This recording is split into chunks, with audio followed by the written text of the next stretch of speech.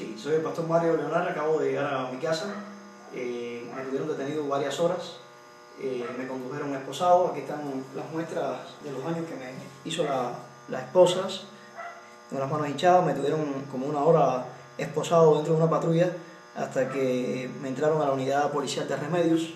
Y en la unidad policial de remedios eh, procedieron aparatosamente a hacerme todo un proceso de detención donde me tomaron huellas de mis manos, todavía se ven algunas manchas negras, huellas de mis pies, me tomaron muestras de ADN de mis uñas, de, todas las uñas de las manos, y me tomaron muestras de ADN de mi boca. Eh, todo aparentando que me iban a detener por bastante tiempo, que me iban a abrir una causa. Eh, querían que yo firmase un acta de advertencia que no firmé, donde decía que eh, yo estaba planeando participar en La Habana de disturbios y desórdenes públicos en la capital eh, a propósito de la cumbre de la CELAC. Yo les dije que yo no firmaba eso porque sencillamente eh, yo soy alguien que, favorezco el orden, no el desorden, y que por lo tanto yo eso no lo firmaba, además de que eh, yo tenía todo derecho de moverme libremente y ellos querían cuestionarme que yo no podía salir de, mi pueblo.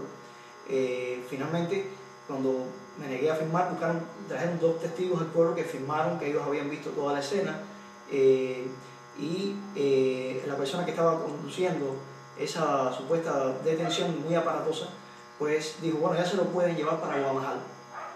Entonces me llevaron a una oficina eh, donde me hacían creer que si yo no me comprometía a quedarme tranquilo y no ir a La Habana, ellos me iban a llevar detenido hasta que se acabara la cena. Yo le dije, llévenme detenido métanme preso, porque yo no me voy a comprometer absolutamente nada con ustedes, porque yo soy un hombre libre, tengo libertad de movimiento y no voy a dejarme coaccionar, sobre todo cuando me están proponiendo algo que se contradice incluso con los principios de la propia CELAC, que habla de los derechos de los pueblos representados por esos gobiernos allí.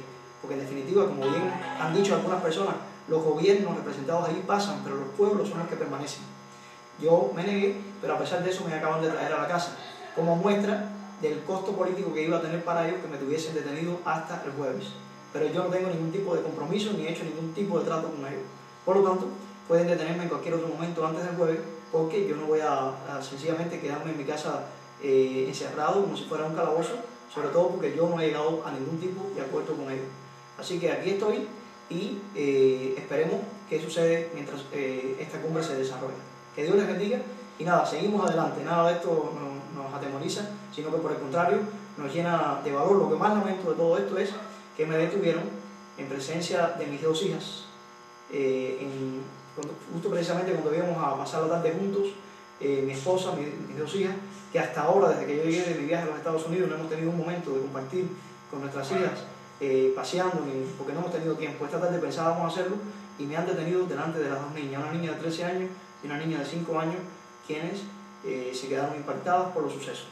Esto es lo que más lamento yo, más allá de, los dolores que tengo de las manos de, las esposas y más allá del trato que le dan a uno, eh, que de repente pues uno es tratado como si fuera un vulgar delincuente, eh, sin tener en cuenta que sencillamente soy un, pastor.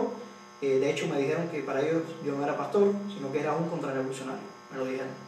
Así que yo les dije, bueno, ustedes pueden considerarme como, como, quieran, yo voy a seguir siendo pastor. Así que de eso se trata y bueno, estoy de regreso en la casa, pero sin compromiso y sin ningún tipo de acuerdo con ellos.